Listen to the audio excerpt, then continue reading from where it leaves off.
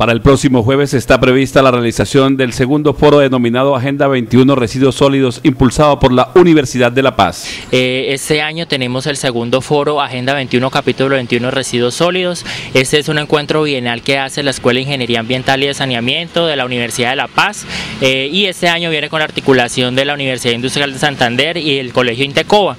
El tema pues es todo lo que tiene que ver con la parte de residuos sólidos y de los residuos que llegan a las alcantarillas. Se espera con esta iniciativa generar espacios para que la comunidad conozca más en detalle sobre este tópico y se preocupe por estos espacios. La Universidad de La Paz siempre eh, propende por la generación de esos espacios que son espacios académicos que buscan la formación integral de los estudiantes, pero también busca generar espacios en donde la comunidad en general eh, conozca de, esos fenómenos y esas, eh, sí, estos fenómenos que están en ese momento en la ciudad pues o que presentan alguna problemática en la ciudad